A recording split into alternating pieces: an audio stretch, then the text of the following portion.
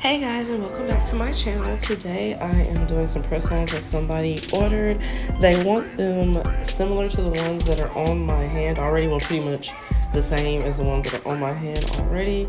So I'm just going to show you guys the process. The first thing I do when I make my press-ons, I buff the shine off. Keeps the fingernail polish from peeling and wrinkling and doing all that fun stuff that we don't like for it to do.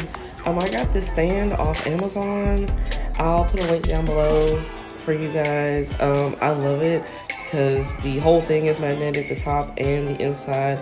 So I used kind of both pieces of it and it came with a little pink jewel to set them on to do just like one nail at a time. And you guys will see that later on in the video.